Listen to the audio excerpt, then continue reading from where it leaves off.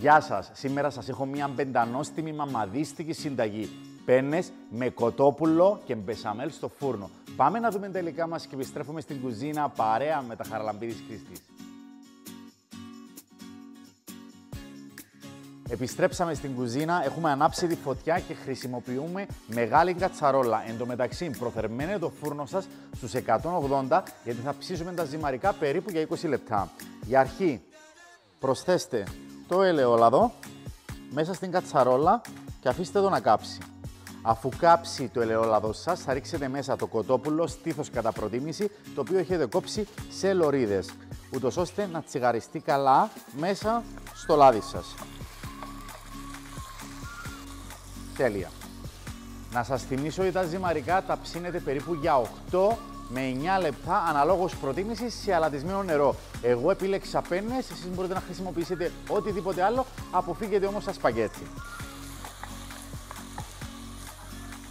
Σε αυτό το σημείο να σας θυμίσω ότι μπορείτε να κάνετε εγγραφή στο κανάλι μας για να δείτε περισσότερες συνταγές.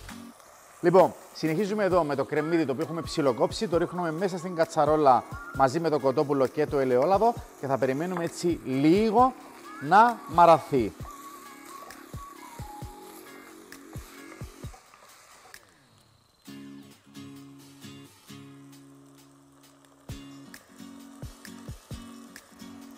Έχουμε ρίξει μέσα το κρασάκι μας και περιμένουμε να εξατμιστεί το ενόπνευμα. Ο λόγος που το κάνουμε αυτό είναι για να δώσει περισσότερη γεύση στο φαγητό μας, αλλά και να ψήσει σωστά το κοτόπουλό μας. Αφού φτάσει στο μισό το υγρό στοιχείο που υπάρχει μέσα στην κατσαρόλα, θα ρίξετε μέσα τα ντοματίνια. Να τα εδώ, κομμένα στη μέση, μέσα στην κατσαρόλα και θα τα σοτάρετε έτσι μέσα στην κατσαρόλα περίπου για ένα-δύο λεπτάκια ελαφρώς να μαραθούν. Μετά προσθέστε τη ρίγανη.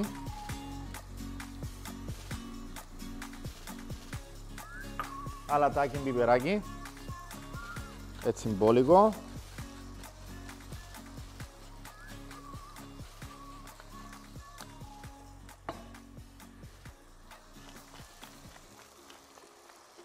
Πραγματικά μυρίζει υπέροχα υπέροχα. Δεν είναι τυχαία που σας είπα ότι είναι μια μαμαδίστικη συνταγή. Ανακατέψτε. Κλείστε τη φωτιά και πάμε στον πάγκο της κουζίνας. Μεταφέρουμε στον πάγκο της κουζίνας. Θα ρίξετε μέσα κεφαλοτήρι χαραλαμπίδης κρίστης, μπόλικο, μπαπάτσικο. Το χρειάζεται αυτή η συνταγή. Θα ανακατέψετε και στη συνέχεια θα προσθέσετε μέσα τα ζυμαρικά που έχουμε βράσει πιο πριν. Δηλαδή τις πένες, να τες εδώ, μέσα και οι πέρνες μας. Τέλειο. Θα ανακατέψετε και σε λίγο θα ξεκινήσουμε την μπεσαμέλ.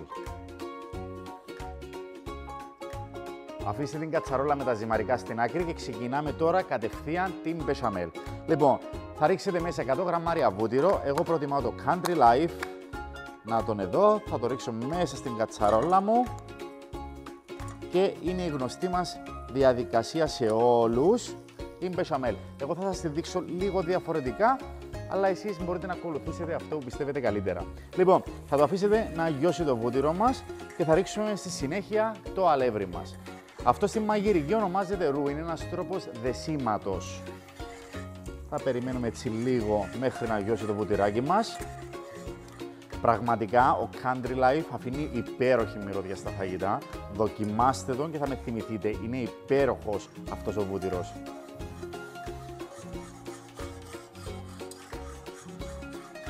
Και αφού έχει γιώσει ο βούτυρος μας, θα ρίξουμε μέσα το αλεύρι μας και θα συνεχίσουμε το ανακάτεμα με το σύρμα. Καλό είναι για να ελέγξουμε τη θερμοκρασία να χαμηλώσετε λίγο τη φωτιά.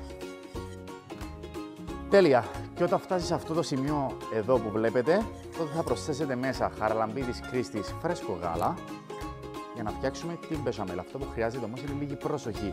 Δηλαδή θα πηγαίνετε σιγά, θα ανακατεύετε, προσθέτετε σιγά σιγά το φρέσκο γάλα χαραλαμπίδης κρίστης μέχρι να φτάσετε στο επιθυμητό αποτέλεσμα. Είμαστε προς το τέλος. Ρίχνουμε και το υπόλοιπο γάλα μες στην κατσαρόλα. Τέλεια. Είμαστε προς το τέλος. Αυτό που χρειάζεται είναι μοσχοκάριδο, δηλαδή να δώσουμε γεύση στην μπεσαμέλ μας, έτσι μπόλικο, αλατάκι και πιπεράκι εννοείται, κλασικά στα φαγητά μας. Τέλεια, ακόμα λίγο.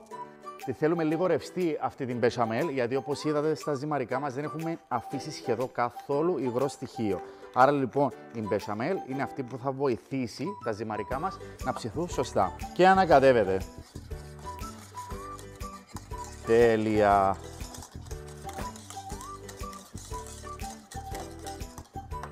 Κλείνεται από τη φωτιά και πάμε για τη συναρμολόγηση του φαγητού μας. Θα σας θυμίσω ξανά ότι προθερμαίνετε το φούρνο σας στους 180 για να ψήσουμε τα ζυμαρικά μας περίπου για 20 λεπτά. Εν τω μεταξύ μπορείτε να δείτε όλη τη συνταγή κάτω από το βίντεο σε κειμενάκι. Λοιπόν, έτοιμη η μπεσαμέλ, έτοιμα τα ζυμαρικά και ξεκινάμε τη διαδικασία. Αυτό που θα χρειαστεί είναι να ρίξετε την μπεσαμέλ μέσα στα ζυμαρικά και να ανακατέψετε.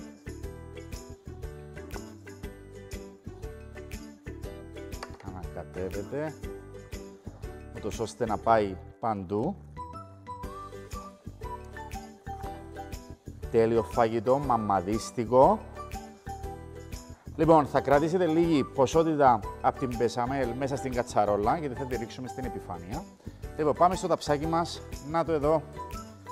Ρίχνετε μέσα το μείγμα με τα ζυμαρικά.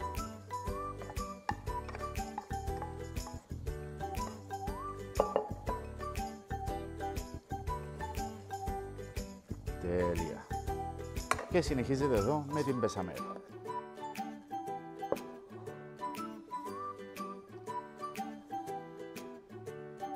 Τέλεια. Πάμε στο φούρνο, ψήνουμε για 20 με 25 λεπτά μέχρι να ροδίσει το φαγητό μας. Επιστρέφουμε σε λίγο. Έτοιμο το φαγητό μας. Έχει μυρίσει πραγματικά όλη η κουζίνα. Οχ, δοκιμάστε το στο σπίτι. Γιατί πολύ απλά τα προϊόντα χαραλαμπίδης Κρίστης έχουν την δύναμη μέσα από ένα μαμαδίστικο φαγητό να ενώσουν όλη την οικογένεια γύρω από ένα τραπέζι. Φιλιά πολλά, να περνάτε όμορφα.